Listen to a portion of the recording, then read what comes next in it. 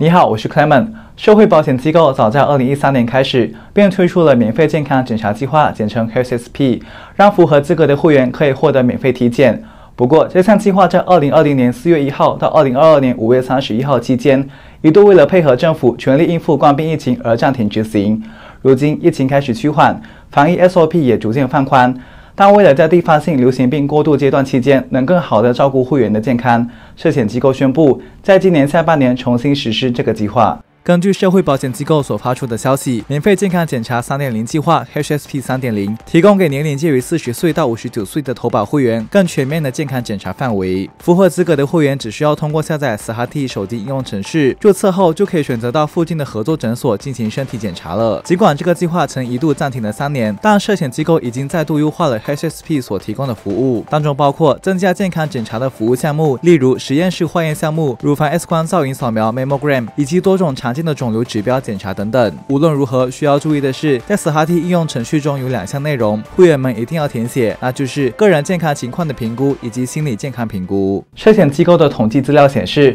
在2022年，多达两万三千多名寿险会员因为患上非传染性疾病而失去工作能力或者死亡。此外，全国寿险机构平均每天接获六十三宗非传染性疾病病例的通报。因此，所有符合资格的会员受促把握机会，尽快挑选合适的时间进行体检。谢谢收看，我是 Clement。更多的新闻资讯报道，请继续留守陪伴着你的 TFM。